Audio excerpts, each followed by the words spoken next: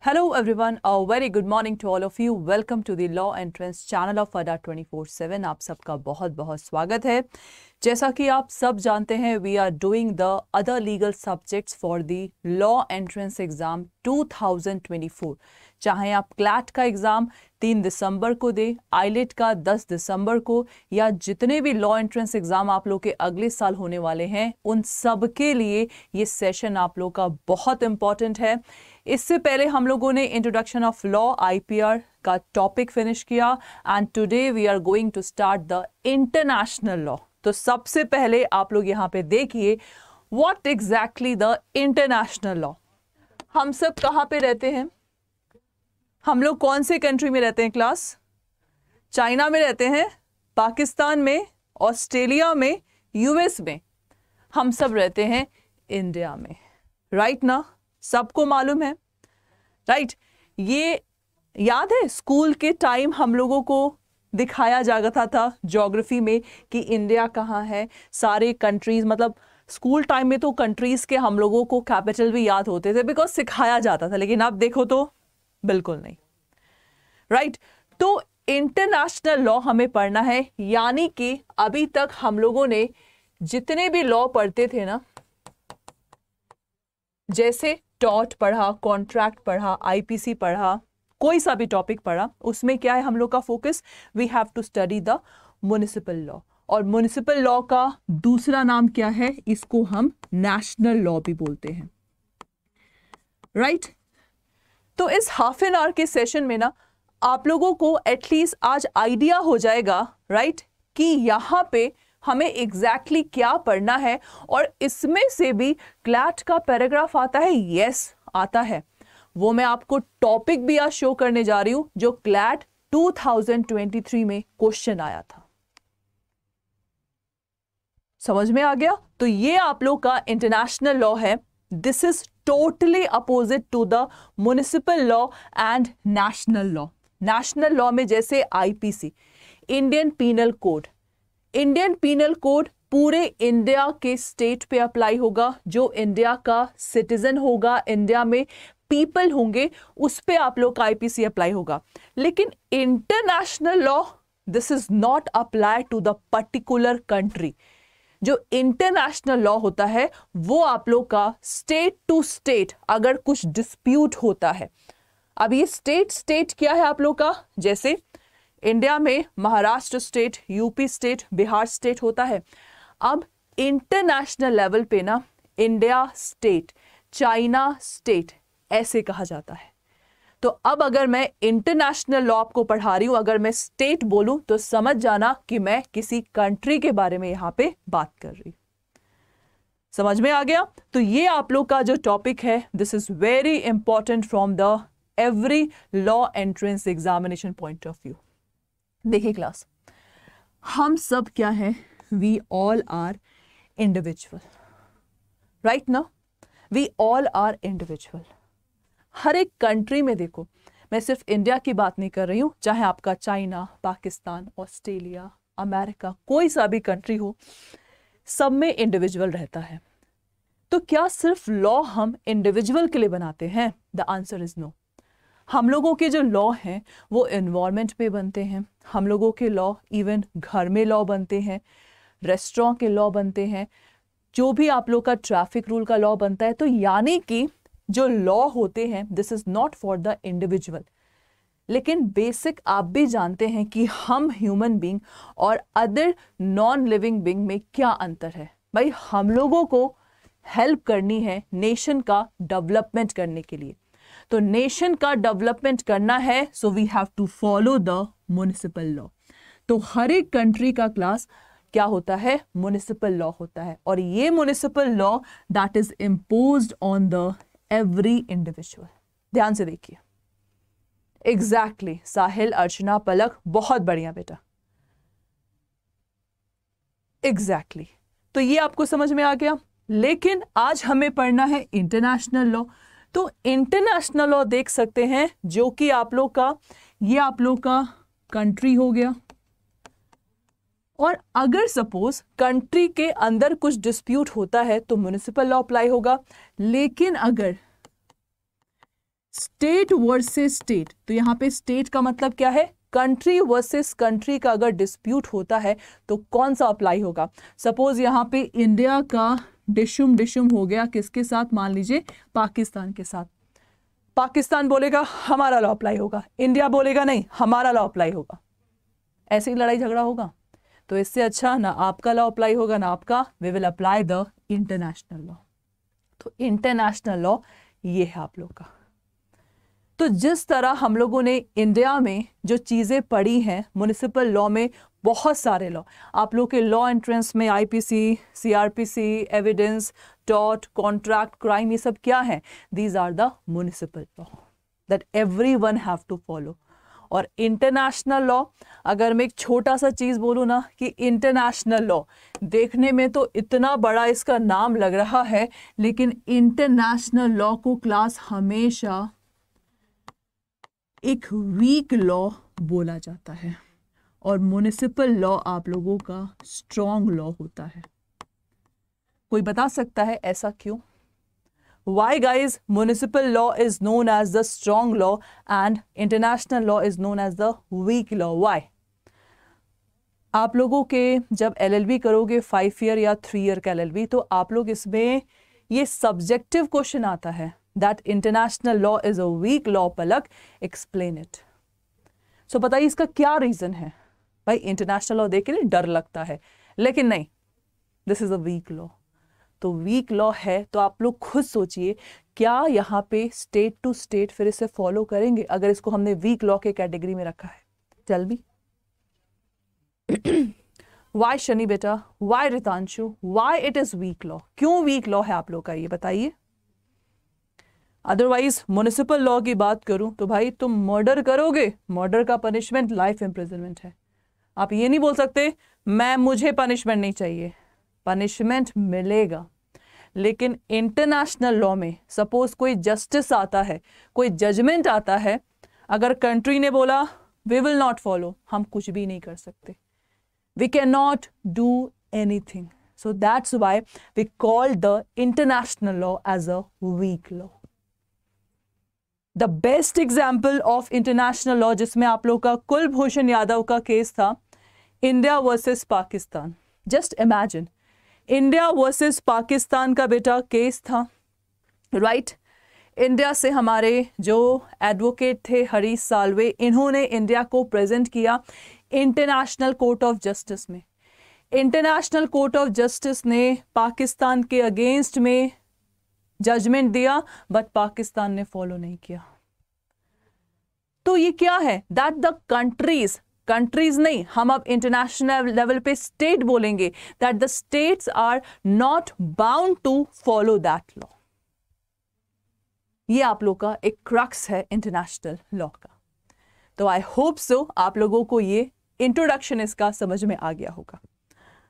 अब suppose class अगर मैं बात करूँ किसी भी कंट्री का कंट्री कैसे स्टैब्लिश होता है? जैसे हमारे ऑल ओवर वर्ल्ड देखा जाए तो 190 प्लस कंट्रीज़ होंगी, जो कि मेन मेन तो आप लोग को मालूम ही है। जैसे अभी जी ट्वेंटी समिट भी हुआ, या कोई भी इंटरनेशनल लेवल का समिट होता है तो काफ़ी कंट्रीज़ का पार्टिसिपेशन रहता है। तो कोई भी कंट्री आप लोग का बनता कैसे है, बताइए? बहुत बढ़िया माही, सबका आंसर यहाँ पे बिल्कुल सही है।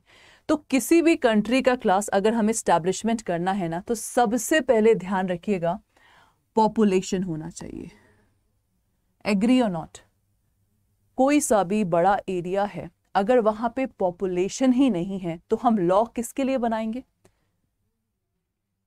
Exactly exactly. तो सबसे पहला किसी भी कंट्री मान लो इंडिया ही स्टैब्लिश हुआ है तो सबसे पहले पॉपुलेशन होना चाहिए। पॉपुलेशन रहेगा कहाँ? पॉपुलेशन आप लोग का रहेगा टेरिटरी में। So living in a defined space India का, जानते हो ना, नक्शा क्या है? राइट ना? इंडिया का नक्शा जानते हैं ना कि इंडिया का नक्शा क्या है? रशिया का क्या है? पाकिस्तान का क्या है? चाइना का क्या है? तो इसका मतलब हर कंट्री ने अपना अपना टेरिटरी क्या है? बिल्कुल फिक्स कर रखा है। Right right? उसके बाद हमारे हर एक कंट्री में गवर्नमेंट होता है। गवर्नमेंट अगर इंडिया का एग्ज़ाम्पल ले तो India is a democratic country तो इंडिया में जो आप लोग का गवर्नमेंट है, आप सब जानते हैं that is divided into the legislature executive and judiciary ये हमारा इंडिया का गवर्नमेंट है। Each organ have a separate power nobody can interfere in the work of each other तो ये हमारा गवर्नमेंट सिस्टम है। उसके बाद sovereignty who is superior in India अगर मैं इंडिया की बात करूँ तो ये आप लोगों का बेटा क्वेश्चन भी आता है in India who have a sovereign power तो सोवरेन का मतलब क्या होता है? सोवरेन का मतलब होता है हाईएस्ट अथॉरिटी तो हमारे इंडिया में जब ये क्वेश्चन आया था कि who have a sovereign power लोगों ने प्रेसिडेंट टिकमा कर दिया प्राइम मिनिस्टर टिकमा कर दिया but the exact answer is people of India with the power to make and enforce law without having to check with any higher authority. और हमारे India में जो हायर अथॉरिटी क्या है? पब्लिक सूरज बेटा इट इज़ नॉट कॉन्स्टिट्यूशन आहा S के हिनाली बेटा टेरिटरी का मतलब होता है क्षेत्र. इसको हिंदी में बोलते हैं बेटा वॉट क्षेत्र. आपको नक्शा नहीं मालूम है इंडिया का जितना क्षेत्र होगा उसी के अंतर्गत इंडिया का लॉ अप्लाई होगा ना तो हर एक कंट्री का बेटा क्या होता है? क्षेत्र होता है। तो अगर किसी भी कंट्री का हमें अगर इस्टेब्लिशमेंट करना है तो ये चारों चीज़ होना ज़रूरी है। और इंडिया में the highest sovereign is the people of India India में highest sovereign this one exactly Sachin बहुत बढ़िया। बीच बीच में जो आप कमेंट्री कर रहे हैं हमारे नेशन के बारे में that's really great one so class ये सबको समझ में आ गया। We have just done the definition of international law किसी भी कंट्री का स्टैब्लिशमेंट कैसे होता है और international law municipal law individual ये किस क्राइटेरिया में आप लोगों के बने रहते हैं? इज़ दैट ओके चलिए नेक्स्ट वन नेक्स्ट आप लोग का है the source of international law अगर मैं इंडिया की बात करूँ इंडिया में अगर लॉ का सोर्स क्या है तो हमेशा हम लोग एक ओल्ड सोर्स और एक न्यू सोर्स के बारे में पढ़ते हैं। तो इंडिया में ओल्ड सोर्स में आप लोग का श्रुति आता है, स्मृति आता है कस्टम्स आते हैं, जिससे कि लॉ बनाया गया। और रीसेंट लॉ में मॉडर्न सोर्सेस में क्या आता है लेजिस्लेशन आता है प्रेसिडेंट आता है देन जुडिशियल डिसीजंस आते हैं, ये सब आप लोगों के मतलब रिसेंटली क्या है आप लोग के, एक तरह से मॉडर्न सोर्स ऑफ़ लॉ है। तो इसी तरह बेटा क्या है आप लोग का इंटरनेशनल लॉ भी, ऐसा नहीं है कि इंटरनेशनल लॉ में पूरा एक बेयर एक्ट है जो कि हम लोग को पढ़ना है, ऐसा बिल्कुल नहीं है। इंटरनेशनल लॉ में भी क्या है ना, हर फ़ील्ड में आप लोगों का लॉ बना हुआ है, हर फ़ील्ड में। चाहे वो इन्वायरमेंट का हो, चाहे एनिमल का हो, चाहे लेबर का हो, चाहे वर्कर्स का हो, हर फ़ील्ड में लॉ बना है। जिस तरह म्यूनिसिपल लॉ हर एक फ़ील्ड में बना रहता है नेशनल लॉ अगर मैं इंडिया की बात करूँ तो हर एक टॉपिक पे लॉ है तो इंटरनेशनल लेवल पे भी आप लोग का हर एक टॉपिक पे लॉ बना होता है। तो इंटरनेशनल लॉ में सोर्सेस क्या होते हैं आप लोग के? सबसे पहला आप देख सकते हैं the first one is your treaty countries to countries treaty होती है। जब कोरोना काल था, हमारा जो गवर्नमेंट थे मोदी जी, हर एक कंट्रीज़ में जाते थे। उस समय जो अपोजिशन पार्टी था, क्या बोलता था कि देखो, जो मोदी जी हैं, हमारे इंडिया के नेशन मतलब नेशन के बारे में नहीं सोच रहे, बाहर बस जा जा के पैसा वेस्ट कर रहे हैं। लेकिन आज जो इस बार जी ट्वेंटी का समिट हुआ, इससे मालूम हो गया कि इंडिया का पोजीशन ऑल ओवर वर्ल्ड किस जगह पे है? तो ये क्या है कि जहाँ जहाँ ट्रीटी बनता है।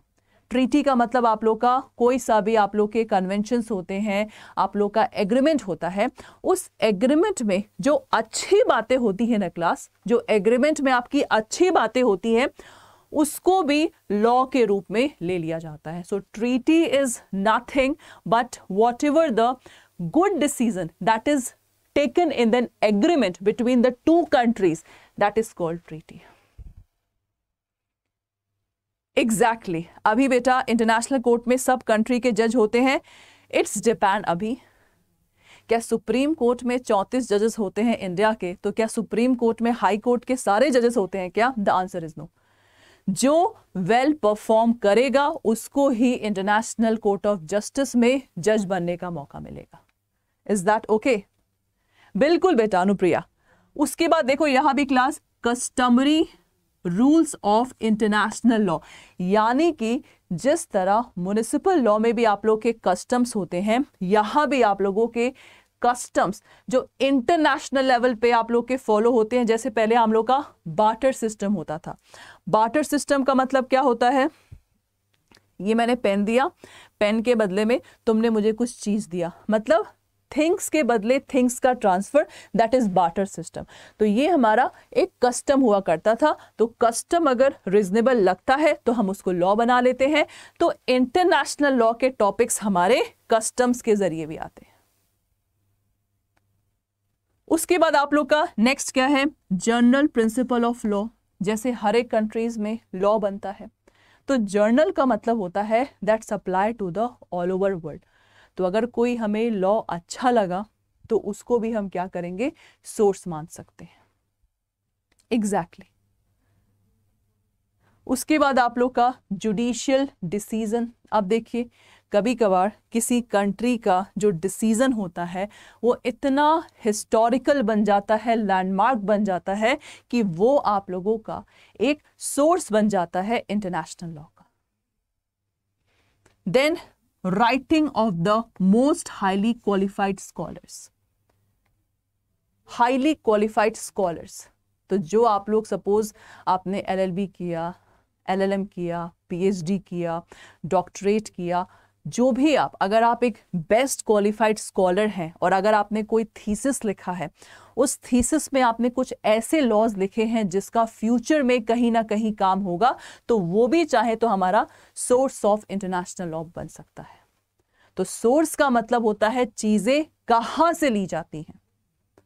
इज़ दैट ओके चीज़ें कहाँ कहाँ से ली गई हैं? तो सोर्सेस ऑफ़ इंटरनेशनल लॉ आप लोगों के, ये सारी चीज़ें हैं जहाँ से आप लोगों का लॉ बना है यहाँ पे। That's it okay now what is the aim of international law क्या एम है? जैसे म्यूनिसिपल लॉ का एम होता है हर एक कंट्री का प्रोटेक्शन करना। तो इंटरनेशनल लॉ का आप लोग का क्या एम है? देखिए ध्यान से। Promotion of friendly relation among the member states. Providing the basic humanitarian rights बहुत इंपॉर्टेंट आप लोगों के हैं।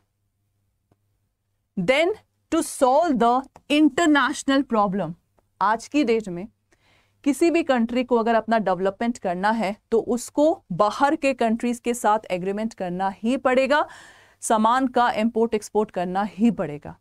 किसी एक कंट्री में अगर बोला जाए कि that country is a very perfect one that cannot be possible भाई कंट्रीज़ को अपना डेवलपमेंट क्यों हमारा गवर्नमेंट यहाँ से वहाँ कंट्री में घूमता है? बिकॉज़ वी नो दैट हमें तेल कहाँ से चाहिए, हमें चावल कहाँ से चाहिए, हमें ये चीज़ कहाँ से चाहिए।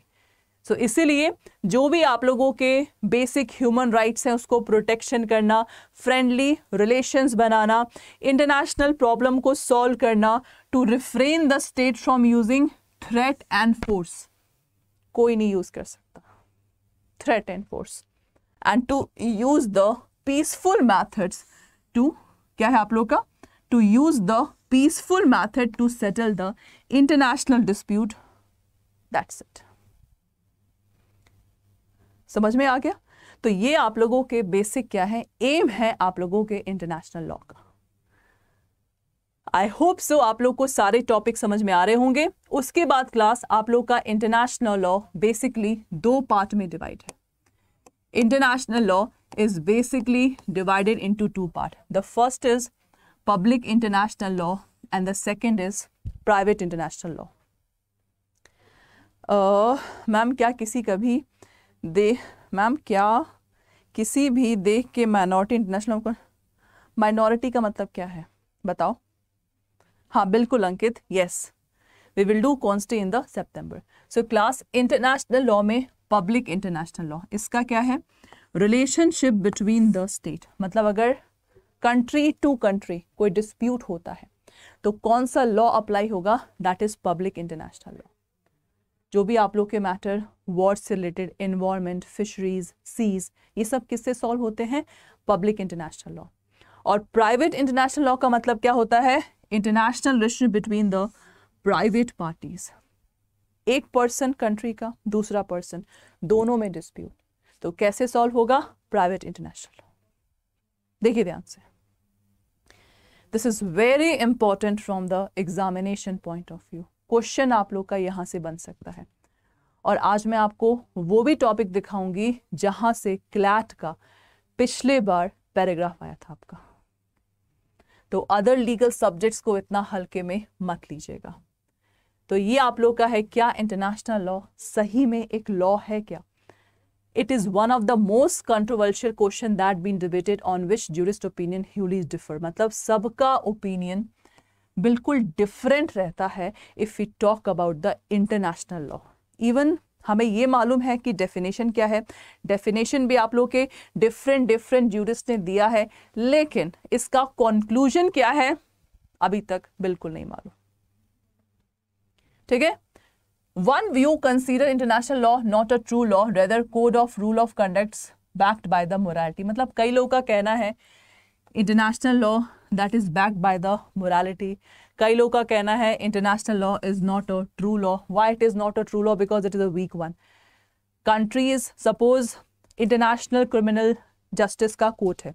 इंटरनेशनल लेवल पे आप लोगों का अगर क्रिमिनल जस्टिस का कोर्ट है, अगर रशिया ने उससे अपना नाम वापस ले लिया तो इसका क्या मतलब है? कि जो डिसीज़न आएगा रशिया पे अप्लाई नहीं होगा। तो एक तरह से आप लोग का ये कंट्री का वॉलेंट्री डिसीज़न होता है कि वो किस यूनाइटेड नेशन का या किस ऑर्गेनाइजेशन का पार्ट बने किसका नहीं बने ये आपके ये कंट्री के हाथ में होता है। समझ में आ गया? एग्जैक्टली ज्योति। यस बेटा। On the other hand, international law is considered to be the true law and is regarded as a law similar to that of ordinary law of the state. मतलब कई जगह बोला गया है जिस तरह म्यूनिसिपल लॉ एक स्ट्रॉन्ग लॉ होता है पर्टिकुलर कंट्री के लिए इसी तरह इंटरनेशनल लॉ होता है एक strong law for the all over the country तो डिसीज़न है that's decision depend upon different jurist her jurist का अपना अलग अलग पॉइंट ऑफ़ व्यू होता है इसके लिए। ओके नेक्स्ट इंटरनेशनल ऑर्गेनाइजेशन ये क्या है आप लोग का? जैसे आप लोगों ने देखा होगा, हमारे कंट्रीज़ में ILO international labour organisation W T O then वाइपो ये सब क्या है क्लास ये सब आप लोगों के इंटरनेशनल ऑर्गेनाइजेशन होते हैं। तो ये इंटरनेशनल लेवल पे आप लोगों का बना रहता है जैसे W T O world trade organisation तो ऑल ओवर वर्ल्ड जो ट्रेड होता है कंट्री टू कंट्री के बीच में, उसके क्या क्या रूल्स रेगुलेशंस हैं that will decided by the W देख रहे हैं यहाँ पे। So international community is an amalgamation of the various voice and opinion therefore, with the growing need for international cooperation and to ensure the peace in the community international organisation has been merge ये तो कुछ ही example है। UNESCO हो गया UNICEF हो गया, ऐसे बहुत से ऑर्गेनाइजेशन हैं जो हर एक फ़ील्ड के लिए हमारे कंट्री मतलब हर एक कंट्री के लिए बना होता है।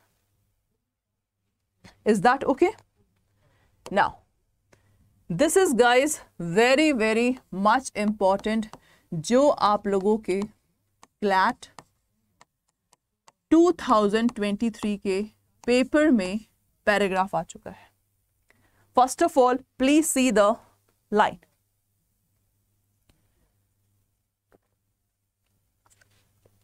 this is very important अगर आप लोगों ने क्लैट का प्रीवियस ईयर पेपर देखा है monistic theory and dualistic theory आप लोगों के पेपर में आया है। तो ये सोचो आप लोगों के इंटरनेशनल लॉ का ही पार्ट है। एक और क्वेश्चन आया था 2023 में सस्टेनेबल डेवलपमेंट का। तो ये भी आप लोग का पार्ट है इंटरनेशनल लॉ का। तो इन दोनों थ्योरी का मतलब क्या है? सो so गाइस सबसे पहले जो दो थ्योरी है, ये किसके ऊपर बेस्ड है? ये बेस्ड है the relationship between the international law and municipal law municipal law जिसको नेशनल लॉ कहा जाता है और इंटरनेशनल लॉ इन दोनों में क्या समानताएँ हैं? तो इसको बताने के लिए आप लोग का दो थ्योरी है मोनेस्टिक थ्योरी और आप लोग का नेक्स्ट क्या है? ड्यूलिस्टिक थ्योरी तो मोनेस्टिक थ्योरी आप देख सकते हैं कौन कौन इसको सपोर्ट करता है? ड्यूगिट कैल्सिन राइट हमारे इंडिया के कोई नहीं है यहाँ पे. Is that okay then law is unified branch of law applying to individual and entity तो यहाँ पे क्या बोला गया है? लॉ आप लोगों का इंडिविजुअल पे अप्लाई होता है और लॉ आप लोगों का डिफरेंट एंटिटीज यानी कि ऑर्गेनाइजेशन पे अप्लाई होता है। International municipal law are interconnected मतलब जो मेन इंपॉर्टेंट आप लोग का मोनेस्टिक थ्योरी का है, जो कि आपको याद करना है, ये दोनों law international and municipal law are interconnected जो कि इस थ्योरी से डिफरेंट है, ये क्या बोलता है? That international law and municipal law ये दोनों क्या है? बोथ आर सेपरेटेड यही क्वेश्चन आप लोगों में क्लैट में आया था। और यही चीज़ आप लोगों को समझना है। तो ड्यूलिस्टिक थ्योरी क्या बोलता है? इंटरनेशनल लॉ म्यूनिसिपल लॉ बिल्कुल सेपरेट लॉ है। ये बोलता है, नहीं नहीं, दोनों इंटरकनेक्टेड है। तो आप लोगों को यही चीज़ याद करना है और इसी का पैराग्राफ आप लोग का 500 वर्ड्स का क्लैट में दे दिया था। तो यहाँ पे आप देख सकते हैं all laws national international are made for individual जब सारे लॉ हमारे, चाहे म्यूनिसिपल लॉ हो, चाहे इंटरनेशनल लॉ हो इंडिविजुअल के लिए बना है तो ये दोनों अलग अलग कैसे हैं? बताइए। नेशनल लॉ भी हमारे, मान लीजिए इंडिया का एग्ज़ाम्पल लू तो नेशनल लॉ भी हमारे इंडिया के पीपल के लिए बना है। इंटरनेशनल लॉ भी इंडिया के पीपल और सबके लिए बना है तो इंडिविजुअल के लिए तो बना है ना? दैट इज़ मोनलिस्टिक और ड्यूलिस्टिक क्या बोलता है, जो कि सपोर्ट किसने किया? ट्रिपल एंजलॉटी इंडिया के नहीं है। इसमें क्या बोला? Individual are the subject to municipal मतलब म्यूनिसिपल लॉ का सब्जेक्ट क्या होता है? किस बेस पे लॉ बनाते हैं? इंडिविजुअल के लिए लॉ बनाते हैं। एंड स्टेट्स आर और इंटरनेशनल लॉ स्टेट्स के लिए लॉ बनाते हैं। इसलिए दोनों अलग अलग लॉ हैं। समझ रहे हैं आप लोग इसको? Municipal law based on the will of the state international law based on the consensus of the state states के कंसेंट से लॉ बनता है। और लास्ट में क्रिटिसिज्म दोनों का लिखा हुआ है। क्रिटिसिज्म का मतलब होता है इसका एक्सेप्शन क्या है? तो मोलिस्टिक थ्योरी में बोला है states consider their municipal law superior to the international law और यहाँ पे states are not only the subject matter of international law so this is your important topic that is given in the international law. इसके सिवा कोई topic ऐसा नहीं है जो हमने यहाँ पे आज के सेशन में कवर नहीं किया from the examination point of view So, I hope so you people understand the topic that is international law. Okay?